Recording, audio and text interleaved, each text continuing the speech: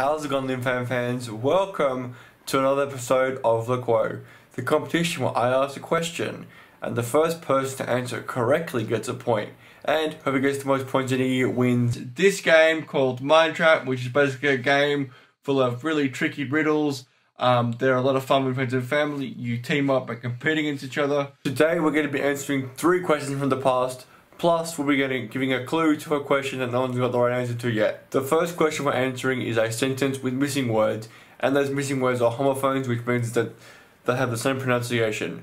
The sentence was Jim got sick of his first meeting, so he moved to second meeting to start a new one. Zanny says Jim got sick of his island, so he went to Ireland to start a new one. Roland Favel says Jim got sick of his career, so he moved to Korea to start a new one. Keishi says Jim got sick of his chili, so he moved to Chile to start a new one. And also Jim got sick of his Greece, so he moved to Greece to start a new one. And Jess says Jim got sick of his turkey, so he moved to Turkey to start a new one. And the correct answer is Korea. That means Roland Favel is our winner for that question. Congratulations for you. Time to get to the second question by answering, and the second question is what gets put in the bin during its first use? Hey, she says a garbage bag. And the correct answer is a garbage bag. That means Keiichi is a winner for that question. Congratulations to you. Time to get to our third question. And our third question is which word means to knock something over, give someone advice, give someone money, and is another word for the top of something. Christian Barbieri says tip.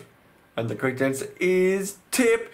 That means Christian Barbieri is a winner for that question. Congratulations to you. That gives Roland Favel 8.5 points in my greatest all time leaderboard. And that puts him in third place. And that gives him 3.5 points in this season's winner of the year leaderboard.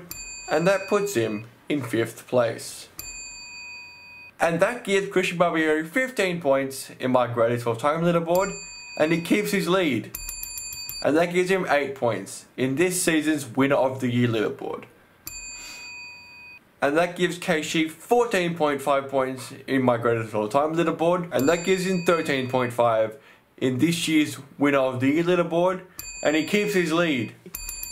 Time to get to this week's question, and the question is Jim is an ordinary human and doesn't wear special glasses or goggles. However, his vision is just as good in pitch black as it is in broad daylight. How is this possible?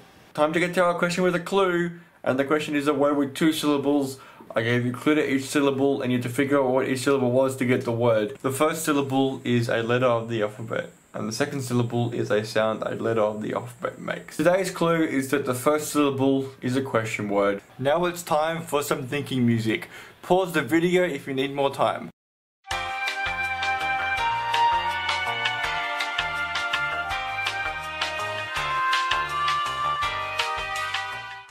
Leave your answers in the comments below, and I'll announce the winner in the next episode of The Quo.